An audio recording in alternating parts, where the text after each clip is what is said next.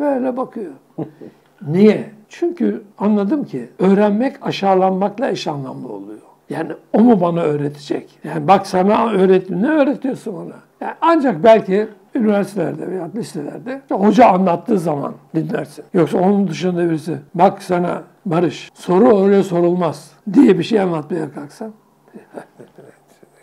Bana işimi öğretme. bana mı bana mı öğretiyorsun? Ben bu kadar senedir röportaj yapıyorum. Tamam mı? Ya benim sana ya senin bana bir şey öğretmen, senin benden tamamen üstün olduğunu veya benim senden tamamen üstün olmana sebep. Bir küçücük noktada bir katkı olabilir. Mesele burada. Ama her şey bir şahsiyet meselesi haline getiriliyor.